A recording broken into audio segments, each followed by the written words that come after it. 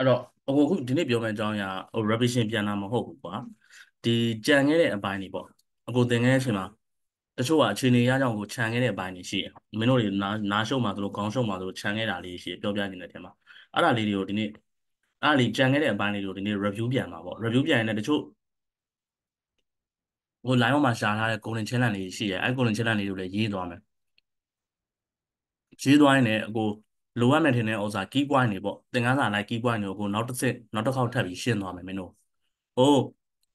ဟိုစစတင်တို့တော့ဒီဒီတော့ဟုတ်မှာမဟုတ်တော့ဘူးပေါ့နော်အဲ့လိုအဲ့လိုရှင်းသွားရင်လည်းကိုတို့ဗလာမဟိုဟာအထိကိုကိုတို့ပြန်သွားမယ်အာโอเคအဲ့တော့အရင်ဆုံးကိုတို့ပြောချင်တာကိုတို့ဒီသင်ခန်း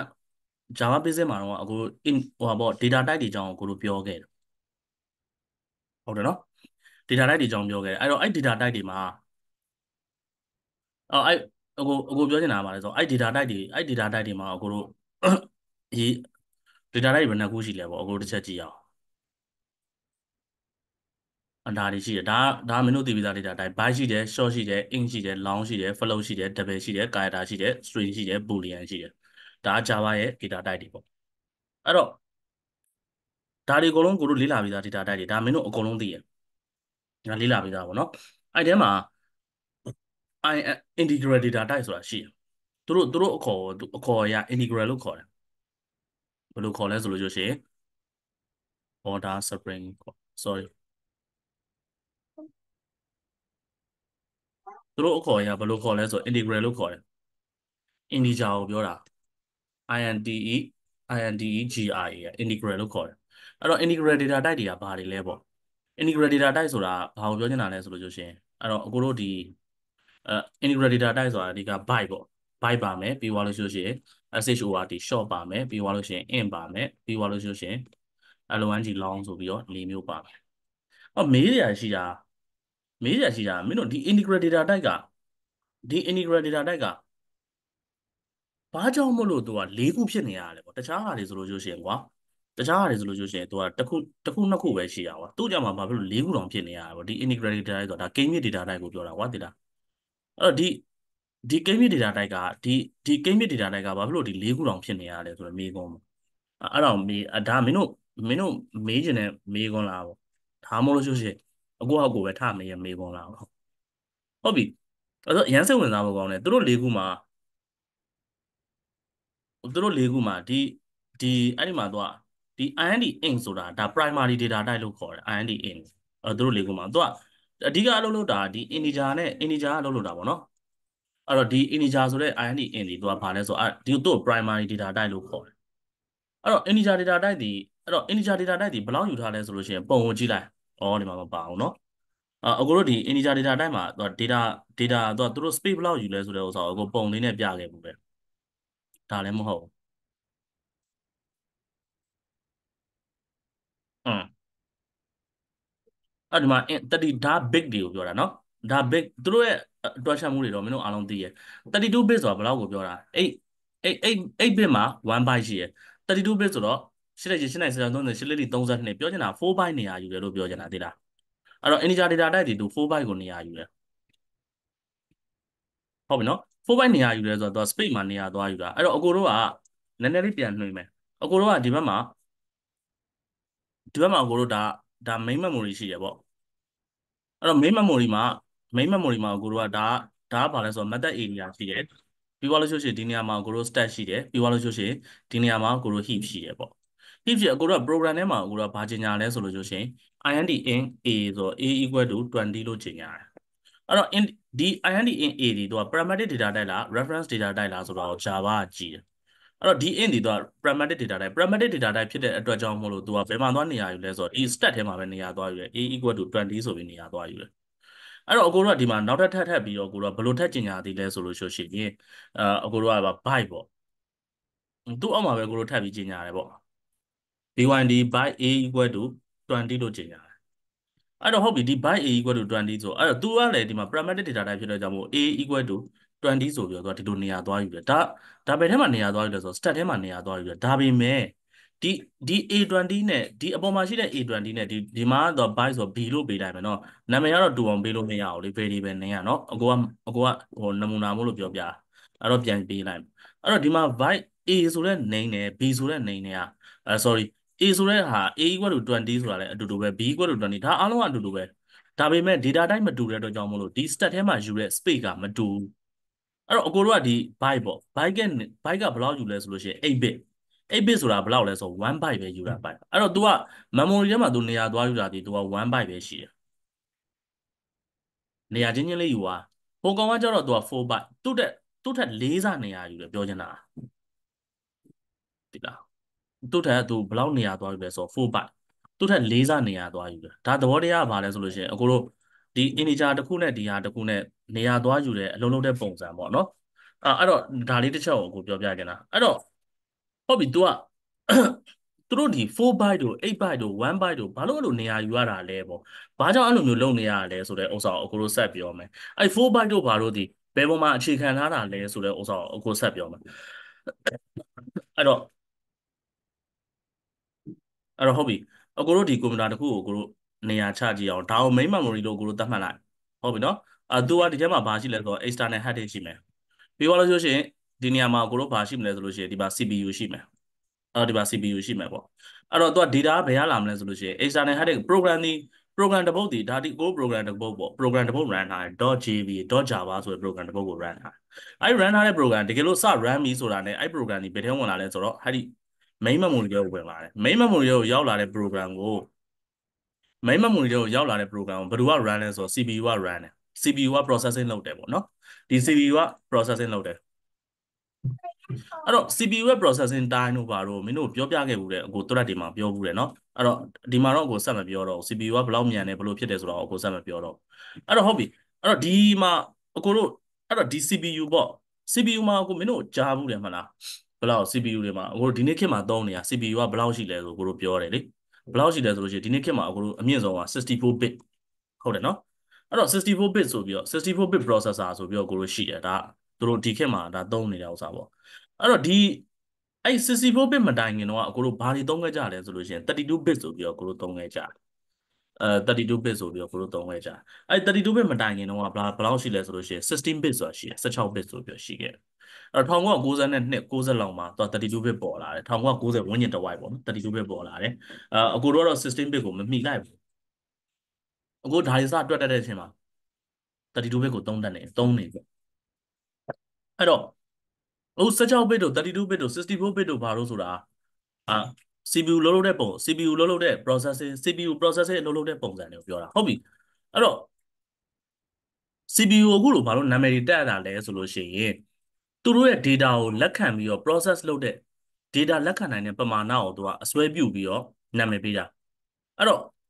ဒီ CPU 64 bit ဆိုတဲ့သဘောတရား CPU ဒီ64 bit ဆိုဒီ CPU 64 bit လို့မှတ်ကြည့်လိုက်အဲ့သဘောတရားကဘာလဲဆိုတော့ CPU ဒီ data ကို processing တစ်ကြိမ်လုပ်တယ်တစ်ကြိမ်လုပ်တယ်ဆိုလို့ရှိရင်ပေါ့ processing တစ်ကြိမ်လုပ်တယ်ဆိုလို့ရှိရင် तू က64 bit ကို तू လက်ခံနိုင်တယ်ဆိုတဲ့သဘောတရား data 64 bit တစ်ကြိမ်လုံးလို့ရှိရင်က data 64 bit ကိုလက်ခံနိုင်တယ်ဆိုတဲ့သဘောတရားအဲ့တော့ main memory ထဲမှာရှိတဲ့ data 64 bit ကိုသူတစ်ကြိမ်လုံးရင်လက်ခံနိုင်တယ်ဆိုတဲ့သဘောတရားဒါကိုပြောချင်တာအဲ့တော့ဟုတ်ပြီသူတို့လုပ်လို့တဲ့ပုံစံ အကိုပြောပြမယ်ဒီမှာတစ်ချက်ပြောမယ်အဲ့တော့အကိုတို့ဒီမှာဘယ်လောက်ပါနေမလို့ကိုကိုပေါင်း8ပေါ့အဲ့တော့သူ့ရဲ့တန်ဖိုးကဘယ်လောက်လဲစက်ခွန်အမေလူတိုင်းသိရချက်ချင်းပြေထွက်တယ်အဲ့ဒါဆိုလို့ရှိရင်အကိုတို့နောက်ထပ်နောက်ထပ်တစ်ခုထပ်ပေါင်းကြည့်နောက်တစ်ခုထပ်ပေါင်းကြည့်မယ်အကိုတို့19ပေါ့19နဲ့28နဲ့ပေါင်းမယ်အဲ့ဒါဆိုလို့ရှိရင်အဖြေဘယ်လောက်ထွက်โอเค အဲ့တော့သူ့အဖြေထွက်ရမယ့်ဥစ္စာဘာနဲ့အရင်ဆုံးထွက်လဲဆိုတော့9နဲ့9နဲ့8နဲ့အရင်ဆုံးပေါင်းတယ်9နဲ့8နဲ့ပေါင်းတော့ဘယ်လောက်ထွက်လဲ16ခွန်ဟုတ်ပြီနော်အဲ့တော့ဒီမှာတက်တက်တယ်အဲ့တော့တက်တက်တဲ့ပေါင်းတော့2ဒီဘက်2ဆိုတော့4ပြောချင်တာကခုနခုနဒီ result ထွက်တဲ့အချိန်နဲ့ဒီ result ထွက်တဲ့အချိန်နဲ့တူလားဆိုတော့မတူဒီ result ထွက်တဲ့အချိန်ကြီးမြန်တယ်ဒီ result ထွက်တဲ့အချိန်ကြီးနှေးတယ်ဘာဘာကြောင့်လဲဆိုဒီမှာ तू ကနှစ်ဆင့်ပေါင်းနေတာသဘောတရားဒါပဲအဲ့တော့အဲ့တော့အကိုခုပြောတဲ့ဥစ္စာပေါ့ အကိုခုပြောတဲ့ကိစ္စကိုစသူကအကိုတို့ခုန integer မှာ integer မှာ data ထည့်တယ်ဆိုလို့ရှိရင် integer နဲ့ပေါ့ integer နဲ့ data အာ integer a equal to 20လို့ပေးလိုက်တယ် integer ဒီဘယ်လောက်လက်ခံနိုင်လဲ4 byte 4 byte ဆိုတာတနည်းအားဖြင့်ဘယ်လောက်32 bit ဟုတ်ပြီနော်32 bit ကိုသူလက်ခံနိုင်တယ် okay အဲ့တော့အဲ့တော့ပြောချင်တာအကိုတို့က အဲ့တော့အဲ့ဒီမှာ processing လုပ်တယ်ပေါ့ processing လုပ်တယ်ဆိုလို့ရှိရင်အမှ a+ အဲ့တော့အမှ integer a equal to 20လို့ပေးတယ်အဲ့တော့နောက်ထပ်တစ်ခုထပ်ပေးမယ် integer b equal to ကိုလို20လို့ပေးမယ်သူကဘယ်လောက်လဲဆိုလို့ရှိရင်သူလည်း32 bit ကိုလက်ခံနိုင်တယ်အဲ့တော့အကိုတို့က integer c ပေါ့ integer c equal to a plus b လို့ပေးမယ်ဒီ processing ကိုသူက CPU ကဒီအခုကိုပြောလိုက်တဲ့ဒီ processing ကို CPU လုံးလုံးမယ်ဆိုလို့ရှိရင် CPU ကိုကိုတို့ဘယ်လောက်နဲ့တွက်မလဲဆိုတော့32 bit နဲ့ကိုတို့တွက်ကြည့်မယ် 32 bit နဲ့တွက်ကြည့်မယ်ဆိုတော့ तू သူ့ရဲ့လက်ခံနိုင်တဲ့ तू အလုံးလုံးတဲ့အချိန်မှာတစ်ချိန်လက်ခံနိုင်တဲ့ပမာဏဒီဘယ်လောက်လဲဆိုတော့32 bit 32 bit तू တစ်ချိန်ဒီ A ဆိုတဲ့ဥစ္စာ value အတွက် तू တစ်ချိန်လုံးလုံးရမယ်ဘာလို့လဲဆိုတော့ तू 32 bit ကိုအဲ့လိုမျိုးပဲ तू ဒီဘက်မှာ B ဆိုတဲ့ဥစ္စာအတွက်တစ်ချိန်လုံးလုံးရမယ်နှစ်ချိန်အဲ့လိုမျိုးပဲ तू C ဆိုတဲ့ဥစ္စာအတွက်နောက်ထပ်တစ်ချိန်ထပ်လုံးလုံးရမယ်စုစုပေါင်းဒီ value ဆိုလို့ရှိရင် तू 3ချိန်လုံးလုံးရအဲ့တော့64 bit ဆိုလို့ရှိရင်ရော64 bit ဆိုလို့ရှိရင်တော့ A နဲ့ B အတွက် तू တစ်ချိန်ပဲလုံးလုံးရမယ်အဲ့တော့ C အတွက်တစ်ချိန်လုံးလုံးရမယ်စုစုပေါင်းနှစ်ချိန်ပဲလုံးလုံးရ သဘောတရားအဲ့လိုအဲ့တော့ဒီ16 bit ဆိုလို့ရှိရင်ဘာဖြစ်သွားပို့ပြီးတော့များသွားတယ်ဒါ CPU လုံးလုံးတဲ့ပုံစံကိုပြောပြတာဟုတ်ပြီနော်အဲ့တော့ဒီအဲ့တော့ဒီအခုဒါဆိုလို့ရှိရင်32 bit တို့ပါလို့ဆိုတဲ့သဘောတရားကိုနားလည်လို့ပြီးလို့ထင်တယ်အဲ့တော့အကိုတို့ဒီဘာကြောင့်မို့လို့အကိုတို့က32 bit နဲ့အခုဒါ64 bit ဆိုတာနောက်ပိုင်းပေါ်လာတာပေါ့နော်ဒီ32 bit နဲ့16 bit ကိုဘာလို့သုံးထားသုံးတာလဲပေါ့အခုအဲ့ဒါမှဒီမှာဒီဘက်မှာအကိုတို့ဒီမှာတစ်ချက်ကြည့်လိုက်ဒီကောင်ဆိုလို့ရှိရင်ဒါ32 bit ဒီမှာဆိုလို့ရှိရင် short ဆိုလို့ရှိရင်သူက16 bit ဖြစ်တယ်ပေါ့ byte ဆိုလို့ရှိရင်8 8 bit ဖြစ်တယ်ပေါ့အဲ့တော့ပြောစရာရှိတာကဒီမှာ CPU ကကွာ32 bit လုံးလုံးနေပြီ32 bit CPU 32 bit လုံးလုံးနေတဲ့ဥစ္စာကိုငါတို့က integer ထားလိုက်ရင်ရပြီမဟုတ်လားဘာဖြစ်လို့ဒီ60 bit တို့ဘာလို့ထည့်ထားရတာလဲပေါ့ပြောချင်တာဒါကိုပြောဒါကိုမေးစရာရှိတာ16 bit တို့ဘာလို့ထည့်ရတာလဲဆိုတော့မေးခွန်းမေးစရာရှိအောင်အဲ့တော့အကိုတို့ဒီ Java develop Java ပေါ့နော် Java Java ဒီ Java ကို developer တွေစသုံးတဲ့အချိန်သို့မဟုတ်ဈေးကွက်ကိုရောက်လာတဲ့အချိန်မှာသူက ကွန်ပျူတာတွေမှာအလုပ်လုပ်တာဒီ32 bit processor စပြီးအလုပ်လုပ်တယ်64 bit မထွက်သေးဘူး32 bit processor အလုပ်လုပ်နေတဲ့အချိန်အဲ့တော့32 bit processor ထွက်ကစားပေါ့60 bit 16 bit တွေကလည်းသူရှိတယ်ဟိုးအရင်တော့ overversion တွေပေါ့အခုတို့ C တို့ဘာလို့လဲရေးတဲ့ရေးတဲ့ programming တွေကသူ60 bit နဲ့ရေးတာအဲ့တော့ဒီဒီ Java ကျတော့သူဘာဖြစ်လဲဆိုတော့32 bit ပေါ့32 bit နဲ့သူကဒီ32 bit နဲ့သူ32 bit ကိုသူလက်ခံနိုင်တယ်အဲ့တော့သူဘာလုပ်လဲဆိုတော့ Java ဒီ32 bit ကိုသူ32 bit ကိုသူ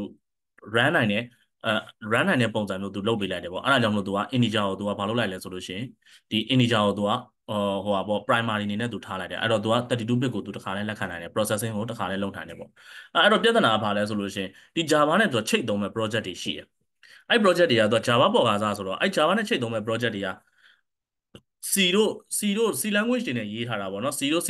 နဲ့ရေးထားတဲ့ language တွေပေါ့အဲ့ language တွေကသူ16 bit ကို supporting ပေးရများတယ်အဲ့ခေတ်က16 bit ကတွင်းတွင်းကြဲကြဲဖြစ်တာဟို32 bit ကစပေါ်ကစားဆို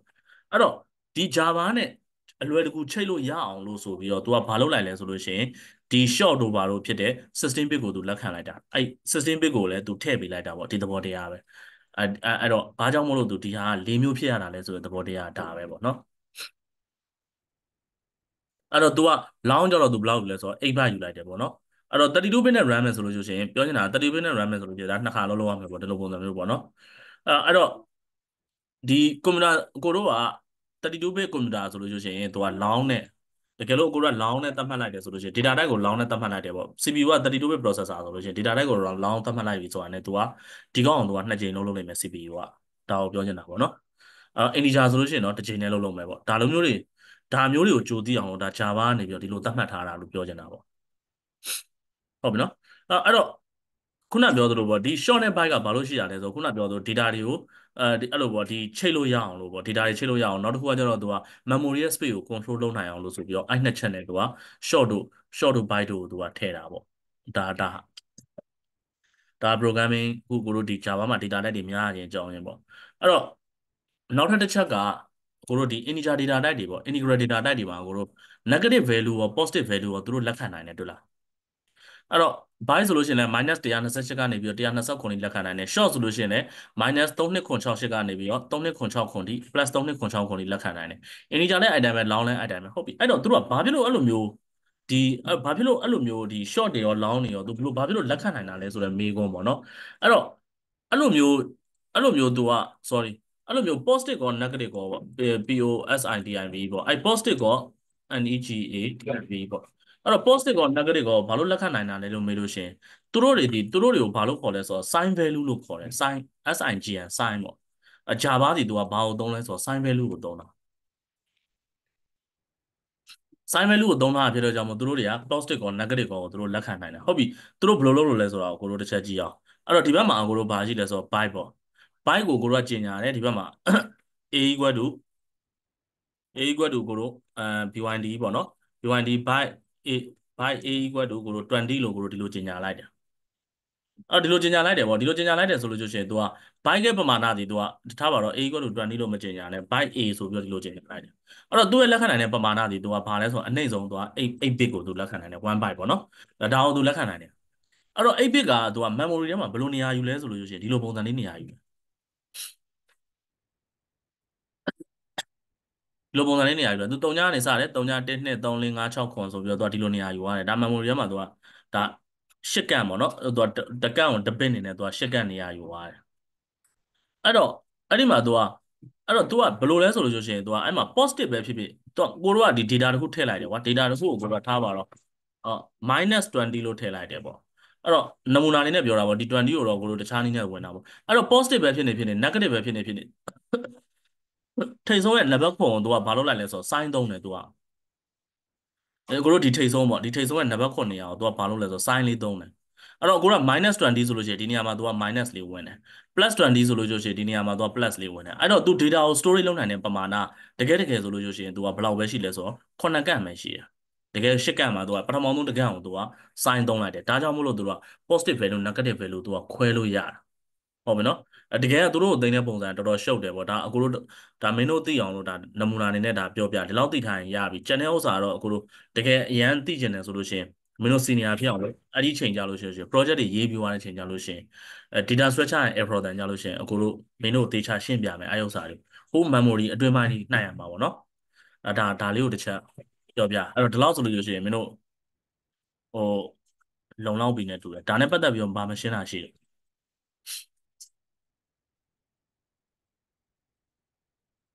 ဘာမေးစရာရှိလဲအဲ့လက်ဘာသာမှမထွက်ပါလားဟယ်လိုဆရာရှိသေးပါဦးဘာပြန်ကြည့်ပါနော်ဟုတ်ကဲ့အဲ့ပါတော့နောက်နောက်တစ်ချက်မေးစရာရှိတာနောက်တစ်ချက်ကြံစရာရှိတာ Unicode အကိုတို့ဒီမှာ IntelliJ ကိုဖွင့်လိုက်မ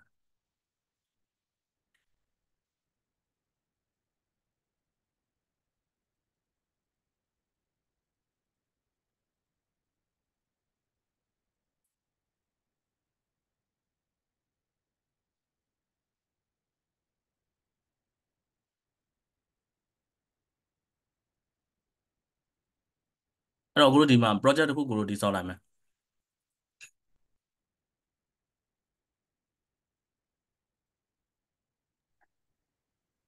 ဘာလို့ညာမရဘူးအဲ့တော့ဒီ Unicode တည်မှုဆိုပြီးတော့ကိုတို့ project တစ်ခုတည်ဆောက်လိုက်မယ်အဲ့နော်ဒါအဖြူဘာလို့ညာလည်းမရယူရယူစား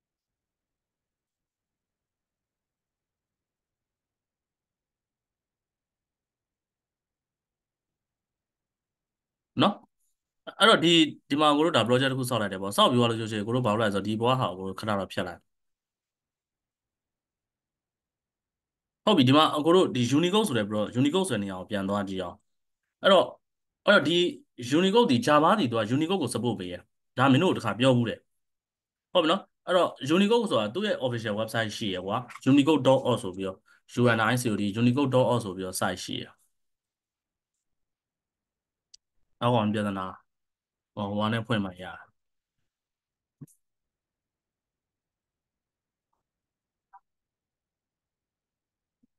VPN ဖွင့်မှရတာ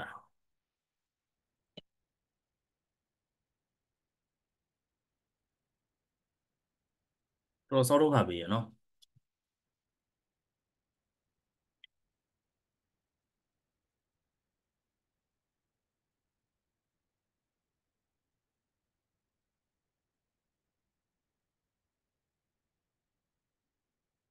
都破。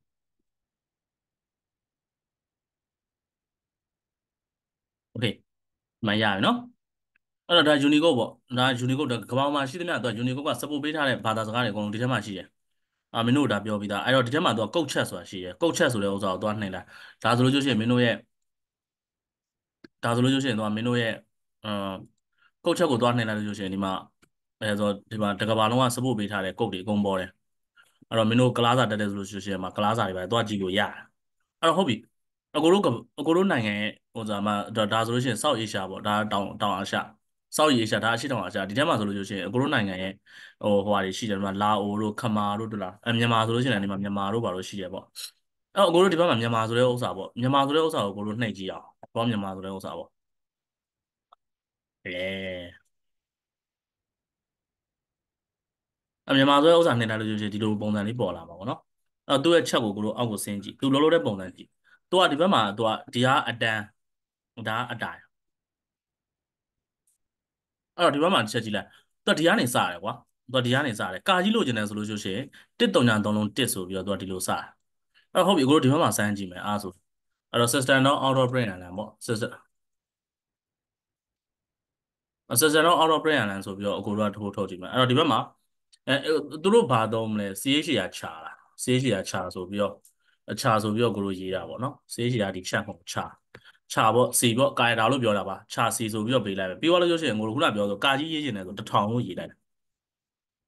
အဲ့တော့ဒီတထောင်လို့ရေးလိုက်ဒါဆိုကာရတာတထောင်ပေါ့အဲ့တော့ဒီစီဆိုတဲ့ဥစ္စာကိုကိုတို့ထည့်ပြီး run တယ်ဒီထဲကိုအဲ့တကယ်တော့တထောင်ဆိုတော့ဘယ်ရရတာတော့ဆိုအကိုတို့ခုနပြောသလိုပဲ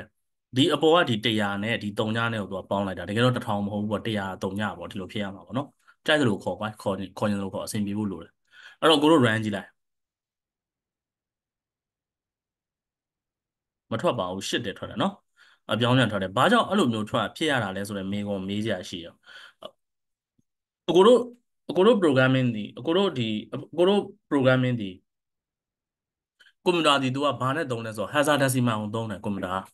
hexadecimal ကိုသုံးတယ်အကိုတို့အခုရေးလိုက်တာ decimal level decimal level က10 base ကိုထိုင်10 10 base ကိုသူအခြေခံတယ်အကိုတို့ခုနရေးလိုက်တဲ့ hexad ကိုတို့ခုနဒါ decimal ပေါ့ဒါပေမဲ့ကွန်ပျူတာသုံးတာ hexadecimal 16 base ကိုအခြေခံတယ်အဲ့တော့ကိုတို့ကဘာရေးပေးရလဲဆိုတော့အရှိမကိုတို့အာ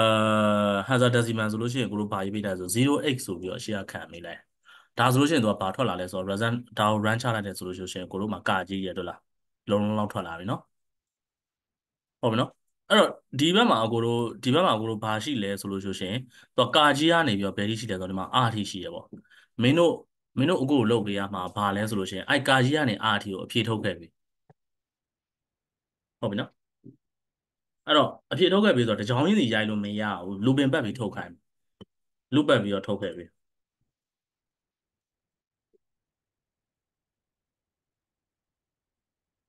စင်ပြီလား ပြပါရဲ့ဆရာမပြူလည်းမရအောင်လေအဲ့တော့ဘယ်နေ့ထိချိန်မရအောင် line မှာမရှာနဲ့နော်ဒါ thinking ဖြစ်တဲ့အတွက်ကြောင့်မလို့ကိုယ့်အကိုလေ့လာပြီးတော့ကိုယ့်အကိုလုပ်ရမှာနော်ရှာပါဦးဆရာနော် line မှာကိုတို့ဟိုဒါဘယ်လိုရေးရမလဲဆိုချက်ကြည့်ပြီးတော့ဘာလို့သွားမမေးပါနဲ့တခြားဝင်ပါကိုယ့်အကိုရအောင်ရှာပါကိုယ့်အုံအောင်နဲ့ကိုယ့်အကိုရအောင်ရှာပါနော်မေးပါ okay အဲ့ဒါဆိုဒီနေ့သင်ခန်းစာဒီလောက်ပဲဘာဘာဘာမေးချင်တာရှိလဲပြော